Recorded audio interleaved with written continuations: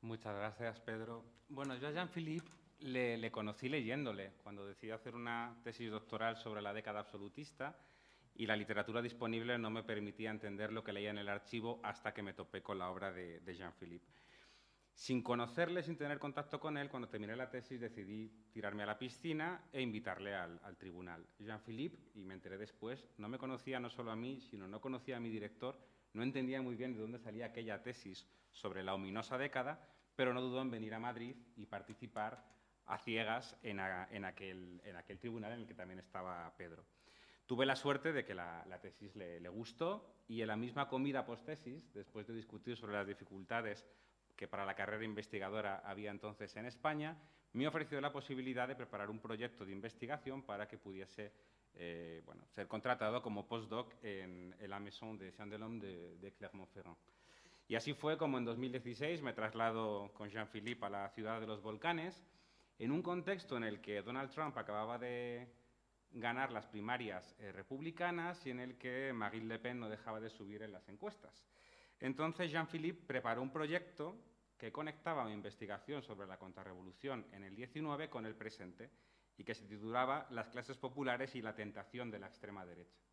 Con ese proyecto tan ligado al presente, comencé una trayectoria de un año en, Clermont junto a Jean-Philippe y ahí contraje una pequeña deuda con él, porque la primera parte del proyecto la cumplí y publicamos un artículo sobre, sobre milicias realistas en Europa, pero nunca llegó a ver la luz aquel artículo interdisciplinar, eh, psicología, economía comportamental, eh, un poco en el espíritu de la message, que eh, me pidió preparar para interpretar ese ascenso de la extrema derecha que por aquel entonces nadie imaginaba que iba a ser tan, tan, tan persistente en la historia de, Europa. Entonces, quería decir que esa deuda contraída pues parcialmente se va a saldar este octubre, que la Universidad de Salamanca organizamos un, un, seminario que se llama Pensar históricamente el ascenso de la extrema derecha y que debe casi todo a las reflexiones y las lecturas que yo hice eh, cuando trabajaba con, con Jean-Philippe. Bueno, cuando Pedro y Magui me, me ofrecieron la posibilidad de traducir un capítulo, no dudé y me pedí dos. Me acabo de dar cuenta que soy el único que he traducido dos capítulos y, y elegí, también, también, es verdad, con Peña, más o menos 50-50. Yo en la foto estaba ahí solo, nada más.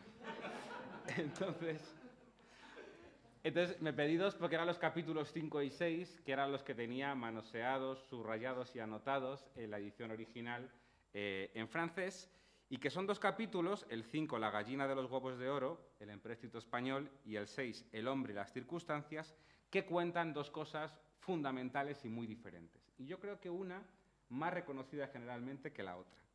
Lo primero que cuenta el capítulo 5 es cómo Aguado se hace rico. ¿Cómo se hace rico Aguado? Pues aprovechando la quiebra financiera del absolutismo español. ¿no?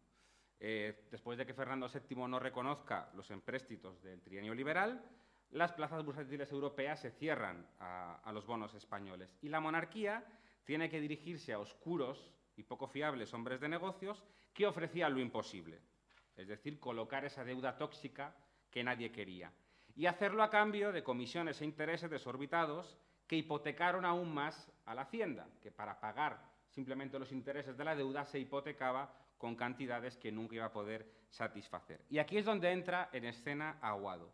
Primero, con un papel secundario, negociando el empréstito Gebhard, no sé cómo se pronuncia, nunca he sabido si es inglesa o francesa la pronunciación de este oscuro financiero, y después, como titula en un epígrafe eh, Jean-Philippe, convirtiéndose en imprescindible y dedicándose él mismo a emitir un nuevo empréstito por su cuenta. Pero este, esta emisión de Aguado es una emisión fraudulenta, es una emisión fraudulenta disfrazada de conversión. Y esto se supo en toda Europa. Decir, que Aguado se enriquece directamente a través del fraude.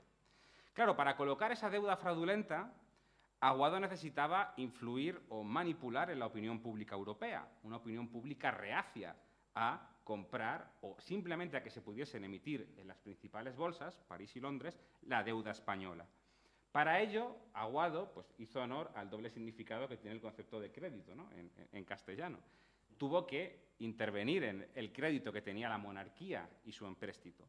Compró periódicos, encargó artículos favorables al empréstito, pagó a escritores a sueldo y entró en relación con estos plumillas tan fascinantes que todavía no conocemos al 100%, que trabajaban alternativamente para los sectores moderados y ultras del absolutismo, vendiendo su pluma al mejor postor, publicando en la prensa francesa y publicando también libelos y panfletos que intentaban eh, orientar la opinión europea en torno a los acontecimientos de, de España. Y así consiguió finalmente colocar el empréstito en bolsas secundarias en medio de un gran ataque él fue a los tribunales para denunciar que había sido difamado porque buena parte de la prensa europea le estaba señalando directamente como, un estafador.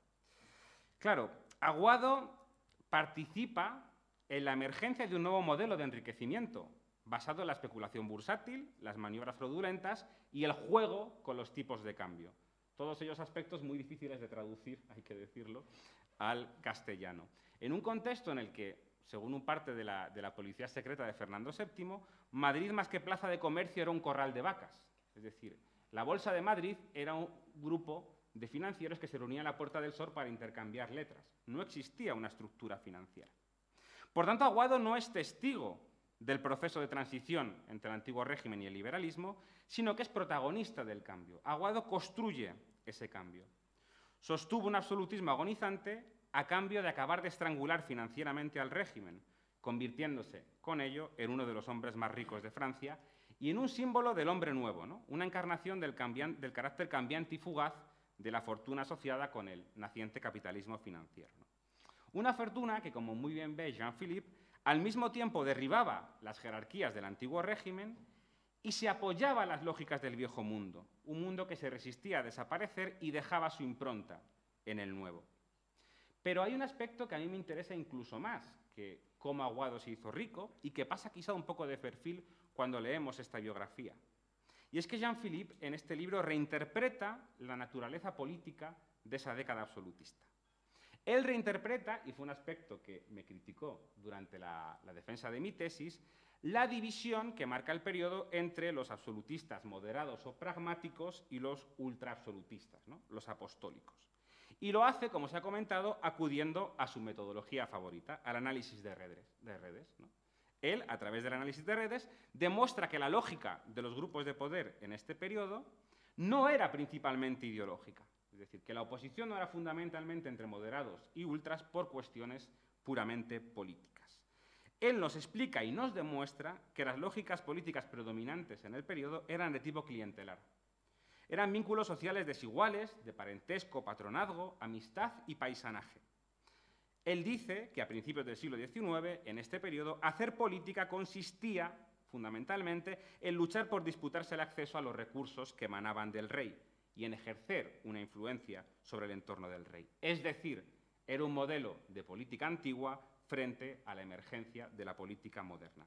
He de confesar que cuando yo discutía con Jean-Philippe Louis, este aspecto no, me convencía mucho. Yo le decía, a mí insistía mucho Jean-Pierre Dieu, el tema de las redes, Fichot, y yo intentaba ver otras lógicas, otras dinámicas en, la, política de la década absolutista. Pero lo cierto es que en el libro él demuestra esa hipótesis. Siempre como era él, de forma muy modesta y sin hacer mucho ruido, pero demuestra esa hipótesis. Y la demuestra partiendo de la caída de C.A. Bermúdez. En octubre de 1825, Francisco Cea Bermúdez, ministro moderado, reformista, pragmático, cae y asciende a la Secretaría de Estado el duque del Infantado, que era el candidato de los ultras. Bien, pues él muestra que el grupo que orquestó, que conspiró y que consiguió la caída de Cea Bermúdez no estaba unido por vínculos ideológicos. Es decir, no era un grupo de ultrarrealistas que se rebelaron contra el secretario de Estado moderado, sino que era una red de amigos aparentemente imposibles de compañeros extraños de viaje ligados por relaciones clientelares. ¿vale? ¿Qué sucedió? Él lo explica en otro artículo, pero la investigación está en este libro, hace la red que cayó con CEA y pone a cada uno en su lugar con Aguado en el medio. Cuando CEA Bermúdez trata de negociar un empréstito con los Rothschild, dejando al margen, puenteando a Aguado y a Javier de Burgos, se trama una conspiración que trasciende las fronteras y se fragua en París. Y en esta red encontramos a ultras como Ugarte, como Erro, como Grimarés, junto a moderados como Falia, Burgos, Arjona, Miñano, Casairujo y todo el núcleo de los, afrancesados, con Aguado en el centro de la red que lleva, digamos, a la desgracia política de, de Cea Bermúdez.